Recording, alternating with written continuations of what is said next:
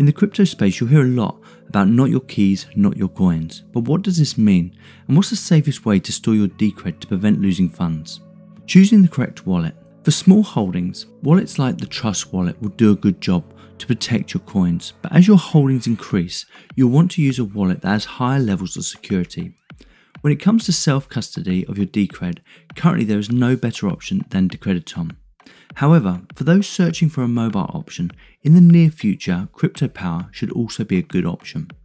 Writing down your seed phrase. Both Decrediton and CryptoPower use the same seed phrase method, which means you'll be able to move your wallet between the two platforms if needed. Although it's not recommended to run multiple versions of the same wallet, one area this could come in useful is if you're having unavoidable problems with one of the platforms, you can easily move to the other. When first opening Decrediton during the creation process, you'll be presented with a 33 word sequence known as a seed phrase.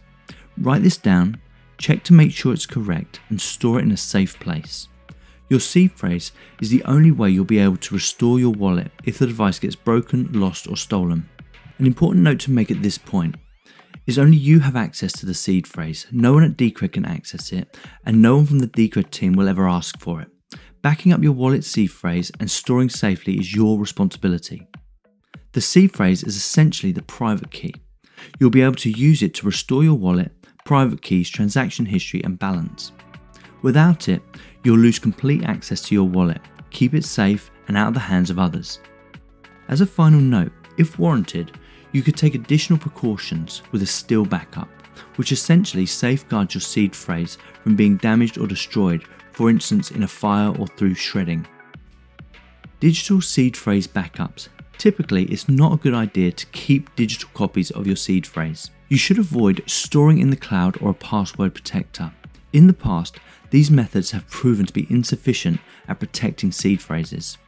You should also avoid taking screenshots of your seed phrase. Generally speaking, storing seed phrases digitally can open your wallet up to a multitude of attacks. As a rule of thumb, Write it down on paper and keep it safe. Some people like hardware wallets as they're dedicated devices not used for any other purpose than storing crypto. These can indeed be good as they do offer extremely high levels of security. These devices still require the need to manually back up your seed phrase. Some even offer seed phrase services, which are custodial backups. Personally, I prefer a dedicated computer that is only used for storing crypto and has no other software or hardware usage self custody or custodial services. Crypto was built so people could self custody their assets and not rely on third party services like banks, exchanges, or brokers to do it for them. This is sometimes referred to as being your own bank. Over the years, custodial services like banks, pension funds, insurance services, and other financial institutions haven't always acted in the best interest of their customers. There have been many instances where customers, for one reason or another, have been prevented from accessing their funds in worst case scenarios, funds have been permanently lost or confiscated.